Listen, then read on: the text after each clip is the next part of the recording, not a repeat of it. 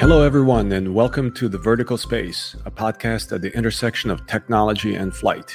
We are your hosts, Jim Barry and Luka Tomljanovic, and here we look at the most important forces shaping the market of advanced air mobility, with a particular focus on why and how they matter to those building a business in this very exciting and growing industry. If you leave the market alone, it will work over time, and it will work to the enormous net advantage of all of us.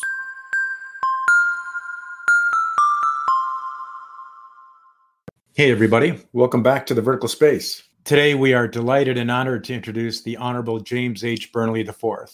It's not often you have an opportunity to hear from one of our nation's foremost authorities on transportation law and policy. Jim has a vast background and wealth of experience, including as a former United States Secretary of Transportation. Listen to Jim's perspective on the free market, on transportation issues overall, on aviation, and how advanced air mobility fits into the bigger picture of transportation and logistics. I have to tell you, I loved economics in school. I was and am a disciple of the free market, and I soaked up Jim's comments about the free market and its ability to address so many of our challenges with exciting opportunities for our entrepreneurs. Listen to Jim's answer to the question of how he would evaluate a transportation system. How would you answer that question? I recently spoke to a large transportation and aviation audience and asked them the same question. Jim's response is golden. We speak to many in our industry who are at times critical of our regulators. Listen to Jim's recommendations on working with regulators, a lesson for so many in our industry if they want to advance their technology. And listen to Jim's recommendations to our entrepreneurs. How often do you directly hear recommendations from someone of Jim's background and perspective? Well, you will today. A smart, tough, experienced, knowledgeable national and global transportation leader who doesn't hesitate to tell it like it is Today, you get a chance to enjoy this conversation with a national treasure, the Honorable Jim Burnley. Enjoy. This episode of the Vertical Space podcast is brought to you by uAvionix. uAvionix is the leader in low size, weight, and power certified avionics for manned, unmanned, and advanced air mobility aircraft. Let uAvionix help you achieve your goals, whether that be type certification, airspace access, or beyond visual line of sight operations. uAvionix has certified and certifiable communications, navigation, and surveillance avionics for your aircraft. So head over to uavionix.com or Google it to see how you can start flying safer and move your platform forward into shared airspace.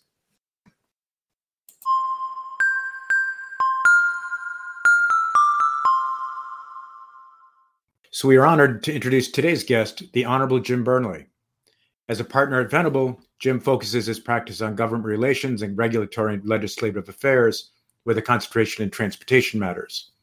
Jim served as the U.S. Secretary of Transportation from 1987 to 1989 and is one of the nation's foremost authorities on transportation law and policy. He also served as Deputy Secretary of Transportation from 1983 to 1987 and was General Counsel of the Department in 1983. Prior to his years at the U.S. Department of Transportation, Jim served as Associate Deputy Attorney General for the Justice Department and as Director of the VISTA program in the early 1980s. Secretary Burnley, Jim, welcome to the podcast. Uh, Luka Tomljanovic, please meet uh, Secretary Jim Burnley. Nice to meet you, Jim. Good afternoon. Well, Jim, I'm going to ask you the first question we ask all guests. Is there anything that very few in the industry agree with you on? If and that can be transportation, that can be aviation, that can be advanced mobility. Well, I think that on uh, you know the broad range of transportation issues, that certainly there are there are things where I, my views may differ from uh, the conventional wisdom. But uh, when you go through industry by industry, those who believe, and I don't think it's most people anymore, but there are still some, and and some of their voices are being heard as we speak uh, because of supply chain disruptions and the like.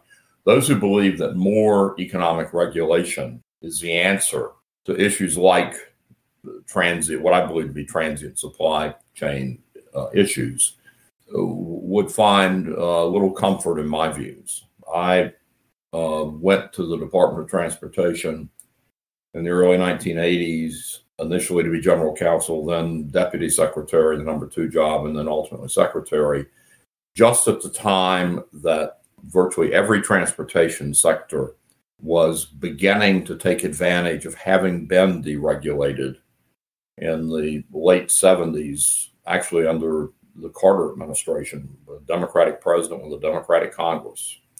And there was a lot of uh, activity that was very dynamic uh, through all sectors of transportation. As a result of that economic deregulation, businesses uh, were started, and businesses, in some instances, pretty quickly failed. Um, there was a lot of consolidation, uh, but most of all, uh, the market was very vigorous and robust in sorting out this brave new world of, of being able to make marketing decisions, uh, both as to where services would be provided and what they, the charges would be for those services, transportation services, without having to come to a Washington regulator and get and get prior approval. I think the U.S. economy has benefited enormously over the last 40 years as a result of that wave of economic deregulation in the late 70s and early 80s. And so it disturbs me to hear voices now that think that somehow putting federal regulators back into the decision making process, particularly on the front end, as to where services will be provided, how the industry that provides those services will ultimately be structured, uh, how pricing will be handled. I think that would be a colossal mistake. But there are people now and again, I, I, I hope that they're still in the minority, but there are certainly people out there that are calling for uh, such actions. Jim, can you give examples of where people may be overreaching at the present time? Well, I, I, I, hesitate to say they're overreaching, but they are reopening issues that I don't think should be reopened because if you leave the market alone, it will work over time and it will work to the enormous net advantage of all of us. In any market, there are going to be dislocations, there are going to be disconnects, but we, we do a much better job getting past those problems and solving them when we let the private sector work through them freely. And I think uh, one example that comes to mind is that there are voices now calling for significant additional regulatory authority in, in the uh, international maritime trade. And uh, voices calling for the Federal Maritime Commission in the U.S. in particular to be given additional authority. So that would be one example that, just off the top of my head, that causes me to be concerned that we we may revisit decisions that, again, I think have have shown over four decades to be the right decisions that, in terms of, of how markets are allowed to operate in transportation. Jim, are there any examples within the air domain where you see some of these discussions about increasing economic regulations taking place? No, happily for the moment, aviation, certainly domestic aviation, we're not seeing those discussions. But as happened uh, in a positive way in the late 70s and early 80s, once you have a debate of that sort begin in one transportation sector, at least in the, the wave of deregulation, there was clearly a spillover effect among sectors. And so, you know, when when you first start deregulating uh, freight railroads, and then uh, in '78 Congress passed legislation to begin uh, on a gradual basis uh, economic deregulation of passenger airlines in this country, and then the railroads came back for another wave of deregulation in 1980. And there was also a trucking, interstate trucking deregulation bill passed in 1980. And in 1982, the interstate bus industry was deregulated. So those things did not happen in, in a vacuum. So what concerns me is, is I worry when you when you mention aviation that if we were to move back down the path in other transportation sectors of giving the federal government a heavy hand in economic decisions, it could ultimately spill into aviation. And certainly there have been voices in Congress from time to time. I don't recall any in the last 90 days that have come to my attention, but there have been voices in recent years that have, have raised uh, the question of whether the federal government should should play a, a more aggressive role in economic decision making in aviation. But right now, the the most of that noise is on the maritime side. But but again, it bears watching in a, from the aviation perspective because there can be a spillover effect.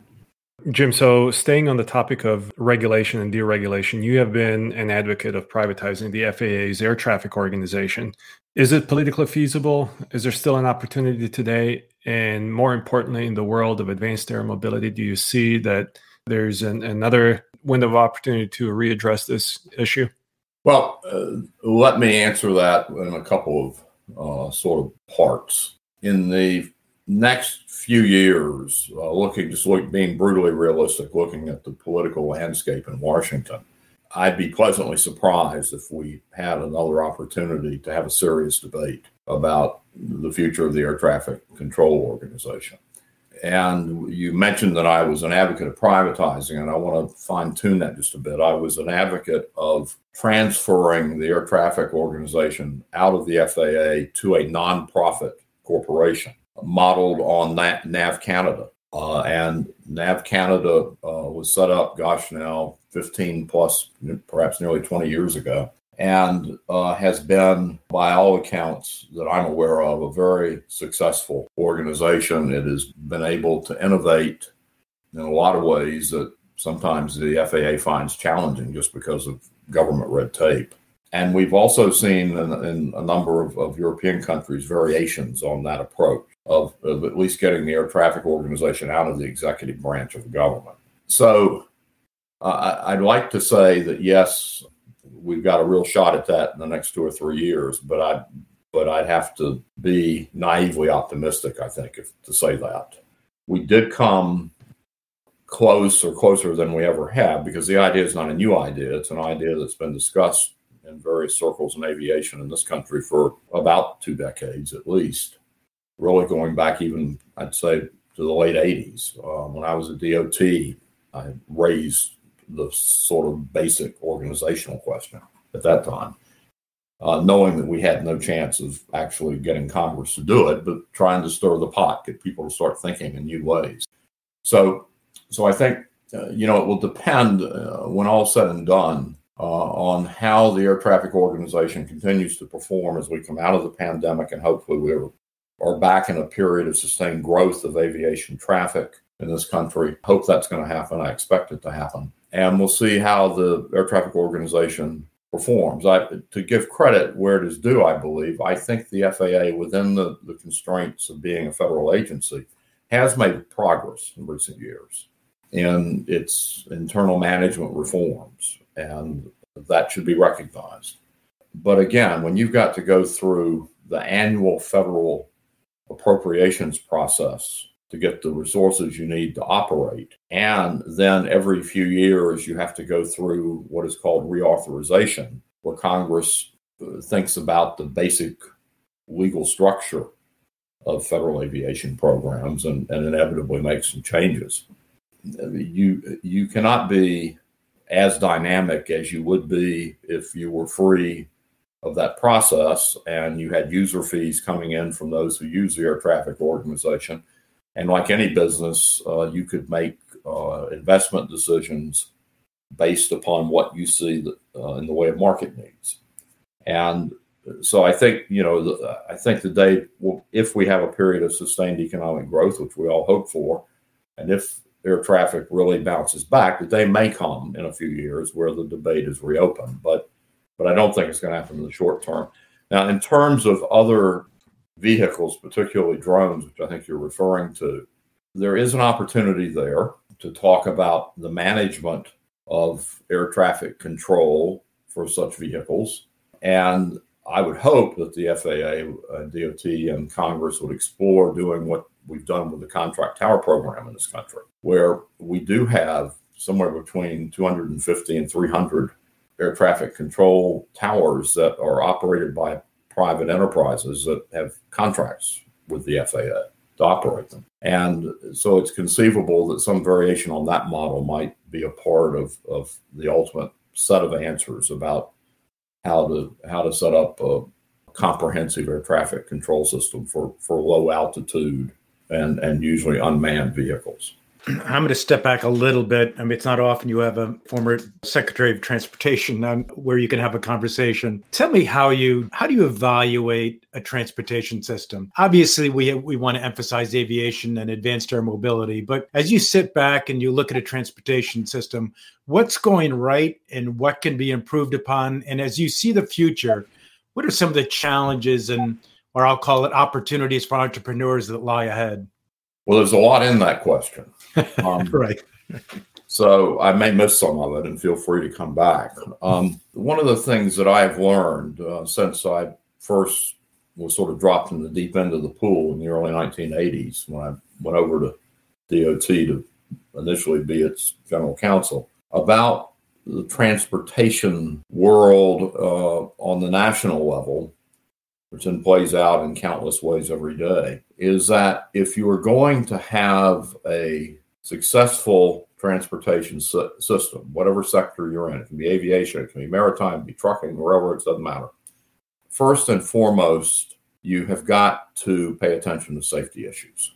Because if you don't, then uh, there are going to be problems. Those problems can uh, be sometimes cataclysmic and all kinds of folks, including people who mean well, uh, uh, again, speaking strictly on the national level, in the federal government, both in the executive branch and in Congress, all kinds of folks who really don't understand the in- industry will have bright ideas about how to make sure you you clean up your safety record. So I think it's critically important for uh, operators as well as regulators uh, in transportation to think about safety first, last, and, and in the middle.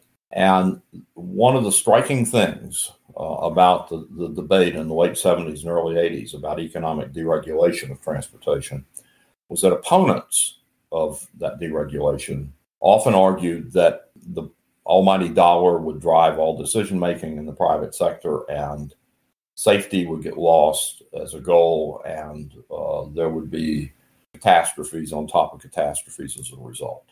Well, just the opposite happened.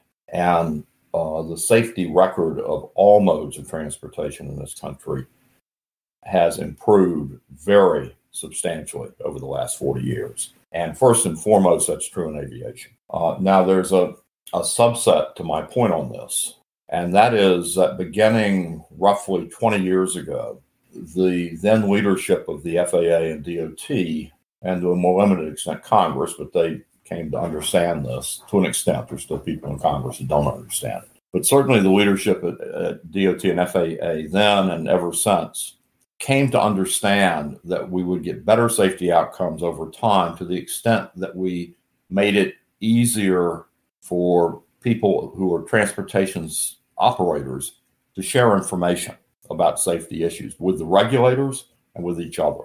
So what happened was we went gradually, but we we're we've been there for quite some time now in aviation. We went from on the safety side, kind of the traditional regulator dictates how uh, safety issues are to be addressed. Um, when there are safety problems, it's a contentious process between the regulator and the, the private enterprise involved in the safety problem. We went from that to a, a, sort of not really no fault, but but no penalty mindset, particularly at the FAA, to encourage everybody concerned when something goes wrong to share information. That evolved into sharing information before things go wrong. So if you look at the record of aviation in this country on the safety side over the last 20 to 25 years, it's remarkable, particularly as to commercial aviation. And it this change in cultural attitudes is not the only reason that's true, but I believe it's a huge reason it's true. And other modes of transportation have, have not come as far in reaching that kind of, a, of an understanding of the critical importance of the free flow of information. But if you get a safety culture inculcated into a particular transportation sector, as has been done in commercial aviation, then that then, in a sense, frees you up if you're a private operator to be able to make other decisions, perhaps to do more experimentation, knowing that uh, that one there's an understanding that you're part of this overall subculture of people who put safety first. And two, if something does go wrong, they're not going to, the first thing that you're not going to have happen is somebody try to put you in jail. And it was very striking to me uh, to see just the other day where a senior engineer at Boeing was indicted for having supposedly lied to an FAA official uh, about an aspect of the uh, 737 MAX problems. And that was taken to a jury in federal court. And the jury, in two hours after a, a multi day trial, found him not guilty. And uh, I think that was a, a very important signal, even from a jury, not people who are aviation safety experts. They understood somehow that you know that was not the right way to get the safety outcomes that we all want. Took that as a real reaffirmation, actually, from you know outside the aviation community of the, of the fundamental importance of this. Jim, how do you see this safety culture being adopted in the drone space? You know, it's been a challenge um, because you've had a lot of people who, for a few hundred bucks, can buy a drone, and some of them can reach pretty remarkable altitudes. And and the FAA, as as we know, has sometimes had to play catch up in getting rules out, particularly to restrict such activities around airports and the like, and then enforce them, which is an even greater challenge. But I do think that we've made some real progress in thinking about how to permanently manage that air traffic in a safe way. As most anybody listening to this probably knows who's involved in the uh, UAS world, the FAA's had an advisory committee for several years. I am chairman of the board of the Eno Center for Transportation, a nonprofit think tank here in Washington, and we've had an aviation working group for a number of years, which I also co-chair. And we put out a report last year making further recommendations to DOT and Congress and the FAA about how to how to go forward in creating uh, an air traffic control system in effect for safe operations. So, following up on, on this thought, what level of safety in this continuum between general aviation and commercial aviation do you think the FAA will require for commercial drones? And how does that translate to broader adoption, market adoption of drones? Well, I think I think what uh, two things. I think what it should do is also the same as what w- will most likely happen, and that is we're going to have above a very low minimum altitude uh, requirement for positive air traffic control, which will, require that the vehicles have transponders and otherwise communicate with an air traffic control system so that their operations do not create problems with with other uh, aviation craft of various kinds and it'll be it'll have to be altitude driven both as to you know the minimum above which you have to have the, that kind of interaction with an air traffic control system. And then I'm sure there will always be uh, ceilings on how how high you can go with, with such vehicles. So the, the, I think you know the technology is probably the least of the problem. It's it's just coming to a set of understandings that can then be reduced ultimately to regulations and implemented to make that possible. And the FAA, again, I think its leadership, you know, very much wants to move in that direction direction as rapidly as it can. And and I think mo- most of the serious players in the industry, particularly the, on the manufacturing side, want to move in that direction as quickly as possible because that's how, again, once you address those safety issues, that's how you grow the market. How far do you think we are from having this regulation in place? Uh, gosh, um, I wish I knew. I can all I can say is the progress so far. I think everybody involved would agree has been uh, agonizingly slow, but I do think we're we may be getting to a pivot point in the near term, the next year or so, that where it will be possible to then perhaps accelerate the process of getting us to the to the desired outcome. Whether that's going to take you know two years or five years, I don't know. Um, mm-hmm. But I think you know the the advantages of of a UAS system, uh, an air traffic control system that, that then permits UASs to operate relatively freely. Um, I mean, they're well understood by by people in the regulatory world. I think the people in Congress who who uh, sit on the relevant committees have a pretty good understanding conceptually that, that that's a good thing if we if we get to that outcome. in the foreseeable future. So I think you know everybody involved got good intentions. It's you know the devil's always going to be in the details on something like this, and we've still got a, a fair number of details that have got to be worked through. Jim, how do you see the future of transportation? And given that this is a podcast for the entrepreneur uh, as well as others, uh, what where do you see some opportunities for uh, businesses to help solve problems in transportation? Well, I think that the the opportunities are, are probably boundless, and I'm, I'm making many assumptions underlying that broad statement. But with uh, what has gone on uh, just uh, even in the last five to 10 years in artificial intelligence, in the evolution of various devices and systems that are variations on radar and other comparable systems, that, you know, we, we, we've had a rate of astonishing progress and change. Now, has it been in fits and starts? You bet. Um, and if you look on the surface transportation side, it's still in fits and starts.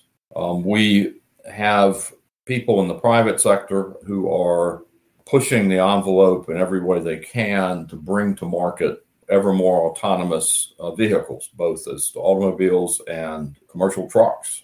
And similarly, in, in aviation and the UAS space that we've been talking about, you see those kinds of, of uh, continuing innovations and evolutions of technology. The bottom line is that if you're an entrepreneur looking for your niche um, in this world, first and foremost, you've got to understand where we are. You've got to understand that things are changing very rapidly.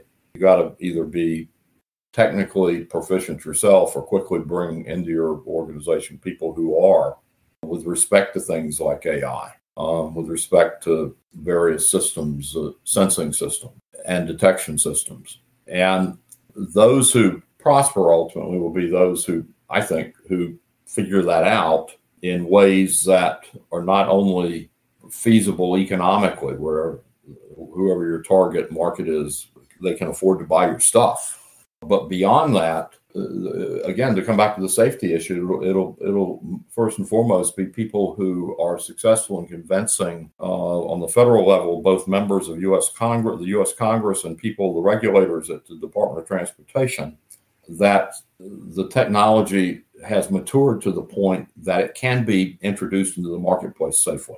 And so, when it comes to surface transportation vehicles, we all know anecdotally we see in the press reports about experimentation on certain roadways um, in certain metropolitan areas or, or, in certain states. And that's going to, I think, continue and, and continue to expand rapidly. But in the UAS world, you know, it's tougher because again, you we've not gotten quite to the point where even on an experimental basis, it, it works to anyone's real satisfaction. I mean, the FAA is, as people in that space will will quickly agree, I'm sure, is is trying to move away from having to approve operations beyond the line of sight uh, with drones on a case by case basis. And FAA said they, they wish to get away from that. But you know, the, again, the, it ultimately will fall to the operators themselves to build a safety subculture that then permits an entrepreneur coming into that space to innovate and to be able to test the market in various ways before the capital runs out. And so there's a there's a real challenge set of challenges there. But if you just have a bright idea and you go go get a couple of technical folks that, that understand the, the technology you need to start bringing your bright idea to fruition, and you're not thinking about the safety aspects of what ultimately your technology or your desired technology is going to do, and you're not paying attention, at least as it applies to your subset of issues, to how the regulatory world of government is thinking about those issues, then you're not going to be, you, you're not likely to be successful. I mean, you've got to start out understanding that there, you're not going to get to make a lot of unilateral decisions about will, what will and won't sell. That's a good point. And you so, mentioned artificial intelligence. What early applications of AI do you think that we'll see in aviation first? Well, I'm no expert on AI, um, but but certainly I know from the work we've done at Eno that you know, when we get to the point where there's confidence that in a relatively low altitude air traffic control system that UASs can communicate with that system and where the human operator does not have to make a decision when the, when the system tells it what it can or cannot do, but the, the device itself will make that decision and make it correctly. That, that when we have that in place, that will be the beginning of, of a mature UAS system in this country. And, you know, but again, you've got to build confidence. That's, that's, and that first and foremost, it goes to the operators. I mean, anybody who's been paying attention to UAS over the last decade knows we've had, we've had some people that were oblivious to those kinds of concerns. And it's the old, you know, one bad apple cliche. So that's why I keep coming back to the critical importance of, of both a, a safety subculture, but also the individuals involved in innovation. Just they, they cannot lose sight of that. Certainly. What's your perspective on advanced air mobility certification, both for drones and, and eVTOLs? What advice would you give to companies and to the government? When it comes to individuals, uh, prepare to be frustrated. It, it's all going to be through trial and error in terms of the regulatory system, as has been true with UAS, and it's going to be painfully slow. And so, again, you've got to think about not just the safety side, but you've also got to think about the NIMBY issue, the not in my backyard issue. And if you have ultimately vehicles that are quiet to the point of even being silent, you're probably going to get a lot further than if you're telling people that they're just going to have to put up with a lot of noise in the immediate neighborhood of your operations. That never plays well. So I think all those kinds of issues are still out there to be sorted out. And uh, again, as, look at what's where we are on UAS. Look at how long it's taken us to get to this point, and we're nowhere near being one of a mature system as we've been talking about. So, so you're going to have to be, you know, prepared to be frustrated, and you're going to you're going to have to be very patient.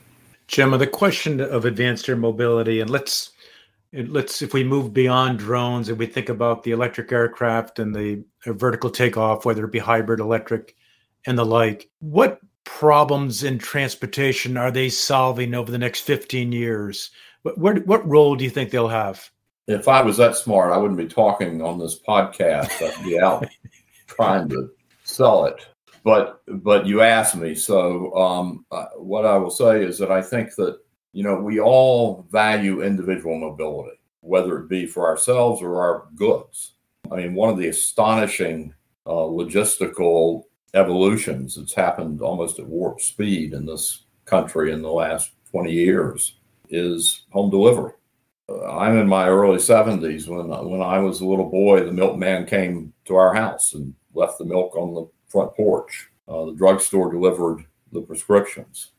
Well, I still haven't got a milkman or milkwoman in my neighborhood, but I can get almost anything else delivered to my front door, including my drugs again, my prescription drugs. So, you know, we, we are seeing um, opportunities on a, on a sort of individual basis, customer by customer. And when it comes to advanced air mobility, I, I mean, it's like uh, you can you can sell tickets on a vehicle that will carry as many people as you want to build a vehicle to carry. I mean, we, you know, we think about wide body jets, or you can sell seats one at a time in a vehicle that has one seat or two seats or, or six seats. So there's no, there's no sort of clear answer, but to the extent that you can individualize your services in the marketplace, as we've seen on the logistics side in this country in recent years, um, you're probably going to be more likely to prosper.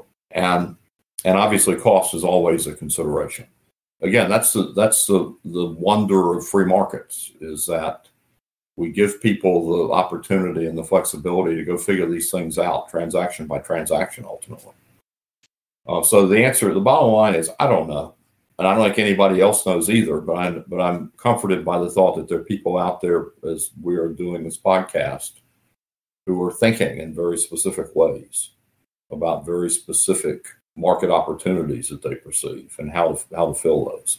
And you like that the free market is going to help answer that question with as little interference from the government as possible. However, anybody who comes online with these systems has to respect, you know, safety first, safety last, safety in the middle.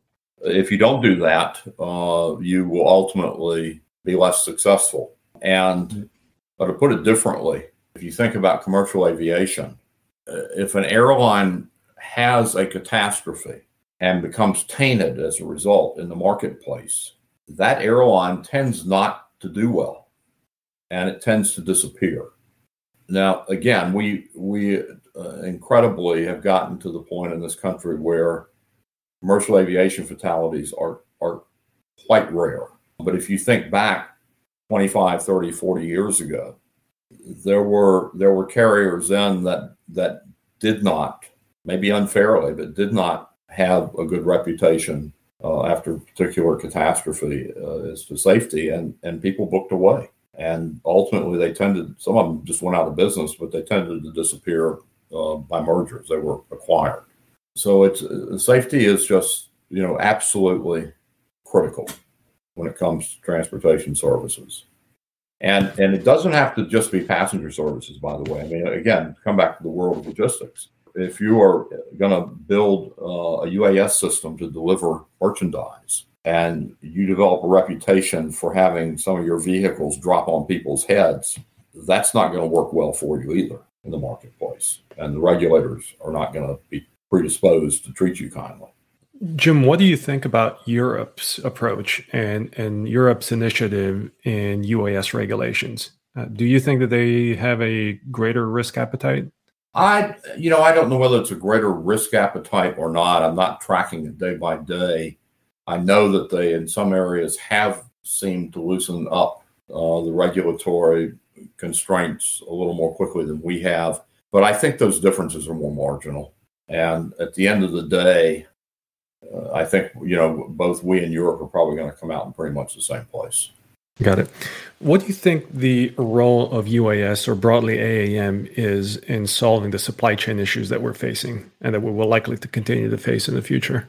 there are a myriad of roles. Uh, you know, again, um, will delivery vans who bring things to our doorsteps in residential neighborhoods today be universally replaced in the next 20 years by uh, UAS delivery vehicles? I don't believe that's going to happen.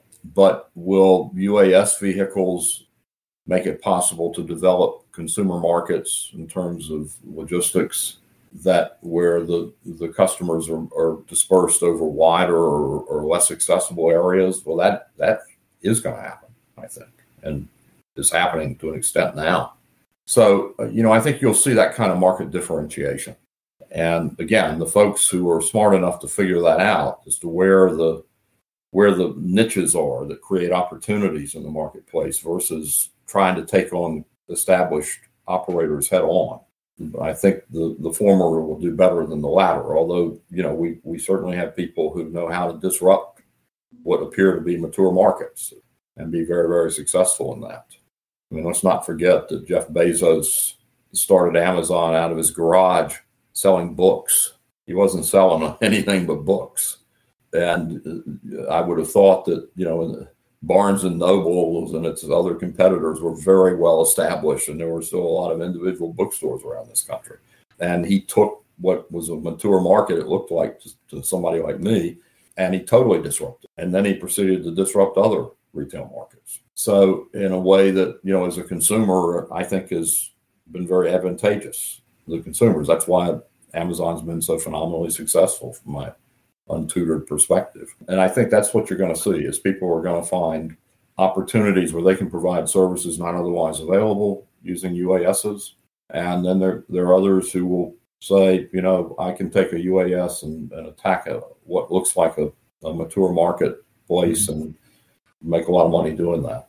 Jim, we had a we had a guest on a couple weeks ago, Pasha Saleh from Alaska Airlines, and he mentioned that we need to find a way. You know, there's five thousand airports out there that are you know most of which are underutilized yeah what's your what's your take on that what's is that an opportunity and why and who could take advantage of it the answer is there are clearly opportunities out there and there are clearly going to be folks who once the regulatory system decides that such operations can go forward safely in large numbers. Uh, we'll be able to take unmanned vehicles and send them to, again, the more remote areas. Uh, uh, the airports that are underutilized, quote unquote, tend to be in places where there aren't all that many people. That's why they're underutilized.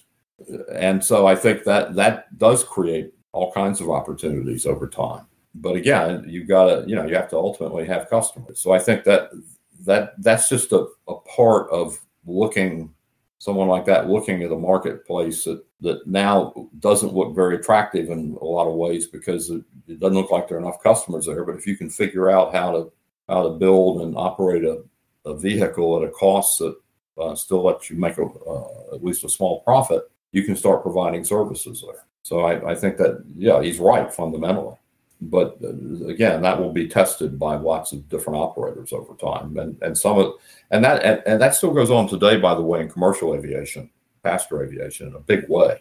One of the wonderful things about airline deregulation is that the airlines have, on countless occasions over the last 40 years, tested markets that did not previously exist, city pairs, where they did not have nonstop service and hub and spoke developed to provide mostly one stop service to markets that could not sustain non-stop service.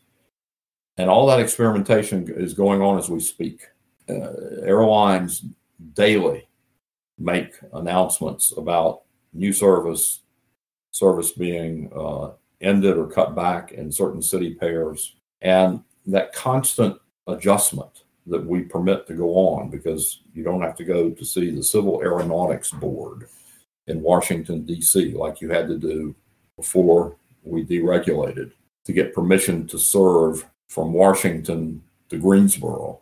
I mean, that that's created this enormously useful commercial passenger aviation system in this country, useful to all of us. And the mobility that we have today is just astonishing compared to what it was before deregulation. So that's what's going to happen, I hope, with with UASs in a, in a sort of a parallel universe. Uh, Jim, I would ask you. So, I, I let's say you have ten thousand dollars and you you want to invest it in the future in technologies that will play a role in the future of transportation. Where would you invest and and for what reason? Well, given the rate of inflation, I don't think I'd be able to invest in anything worth pursuing. But um, that's another conversation.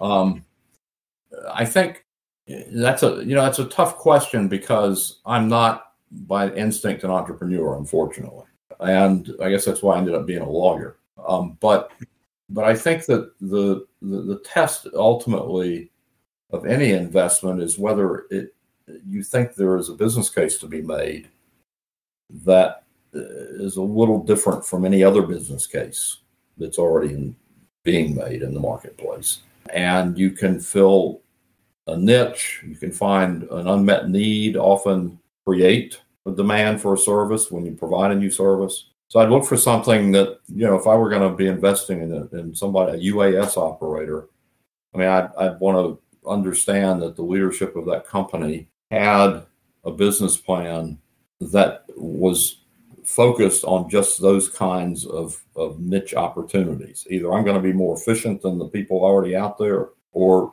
there's nobody doing it, and I'm going to go do it. And again, I use the you know Bezos in his garage. There was nobody else selling books by mail in in any quantities in this country in the 1990s, and he just saw an itch apparently. Um, so I'd look for that guy, but I'd look for for somebody who's who's got that kind of mindset and and then you know try to understand what the business plan is and and then I'd have to ultimately make a judgment about whether I wanted to gamble my ten thousand dollars on that investment. Jim, ten years from now, in our tra- in let's say the United States or let's say anywhere in the world, what's going to most surprise our listeners? What's the biggest change that's going to occur that most people aren't thinking about today? For the optimists who hear this, I'm, I'm afraid my answer is a downer, in the sense that they they will be frustrated beyond what the level of frustration they expected, sometimes far beyond, at how slowly, particularly in the UAS world and the advanced mobility world, how slowly the regulators move.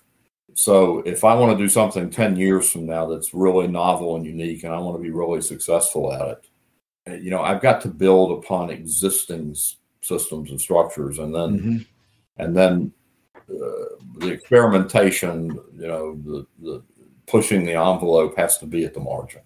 And and I would say this as well: regulators do respond to facts. They do respond to sound arguments. They don't always, but they often do.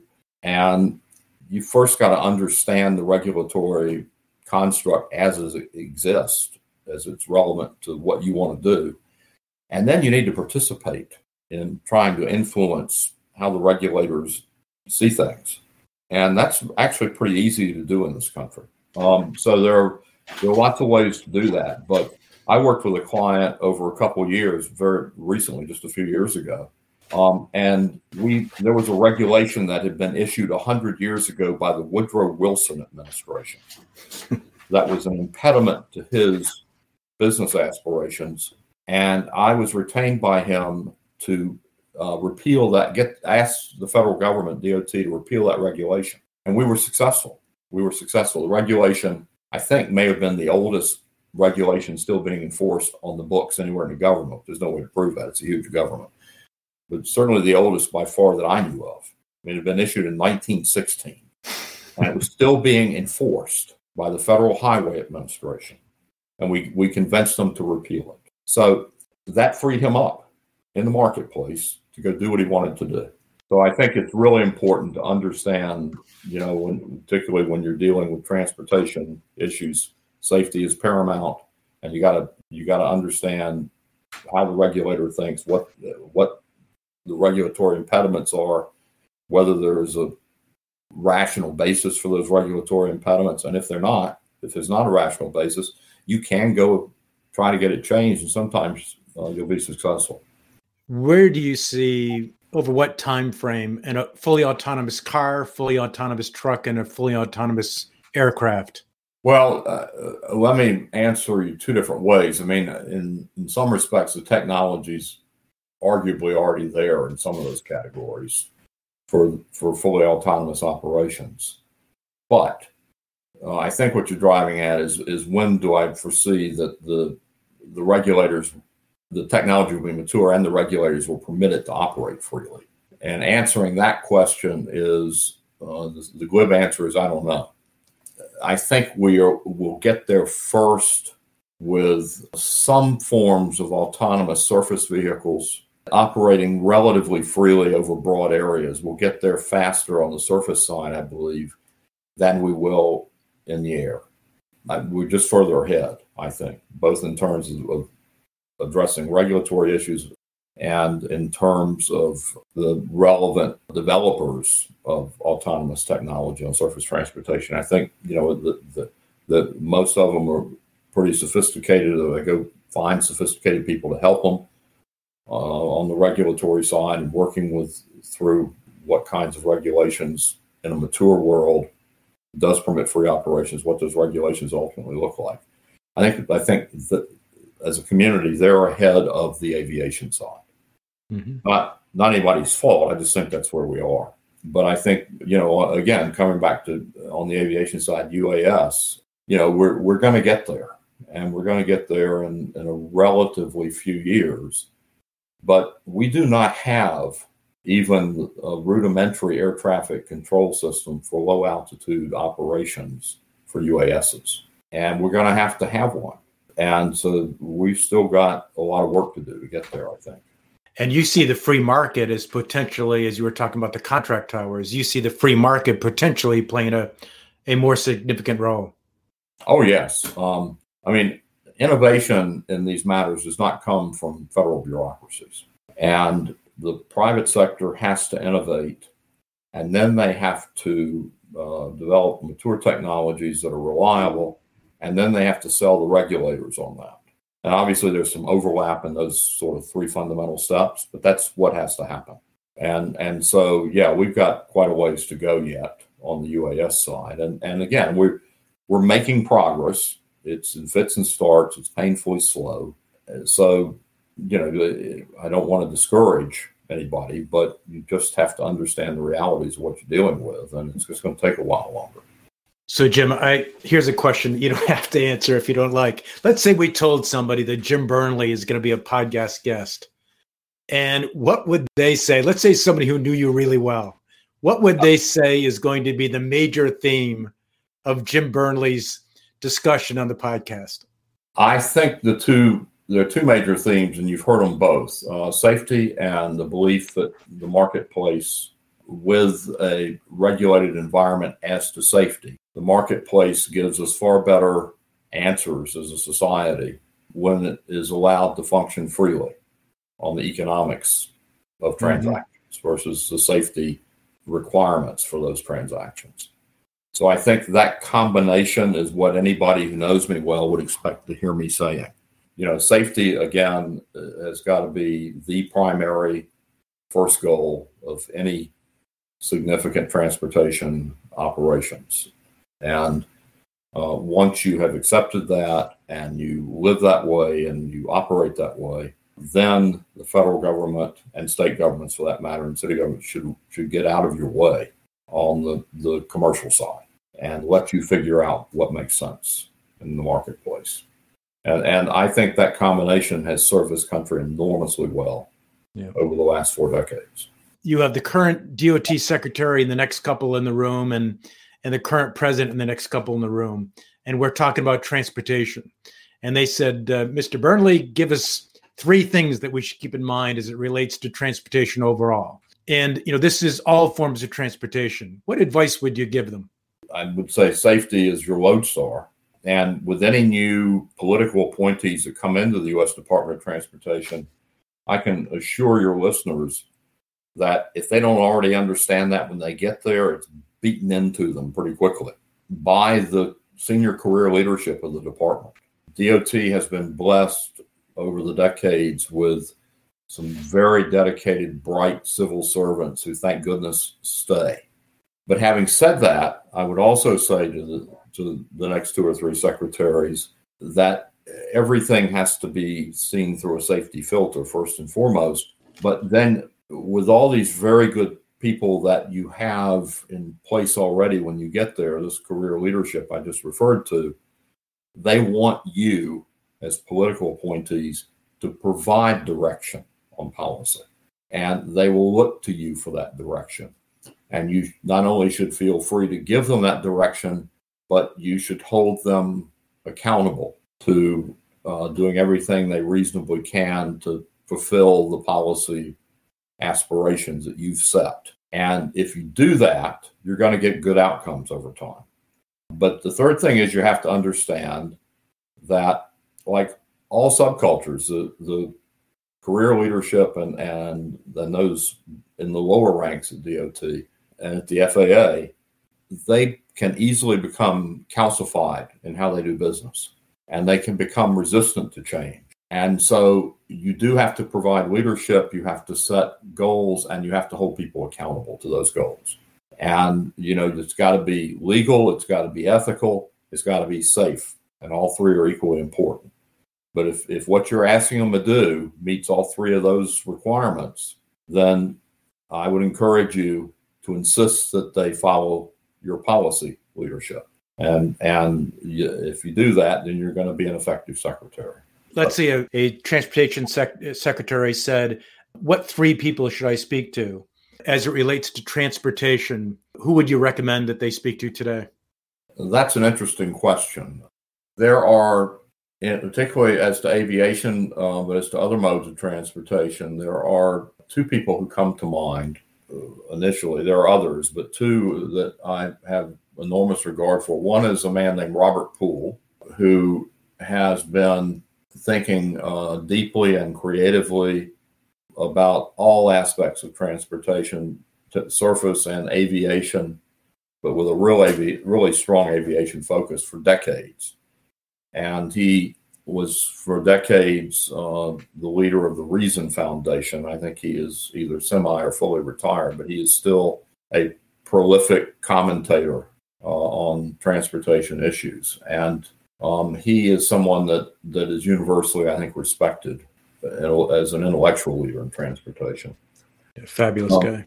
Another is uh, Jeffrey Shane, who uh, started at the Department of Transportation in its very early years as a young career lawyer and who cycled through the department several times, uh, ended up in uh, Bush 43 as the Undersecretary of Transportation for Policy, the number three job at DOT, has held numerous other senior positions, including on the international level in aviation.